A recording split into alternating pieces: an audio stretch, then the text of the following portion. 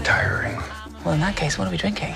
Same for the goddaughter. Dad told me you found something on a train during the war. A dial that could change the course of history. Why are you chasing the thing that drove your father crazy?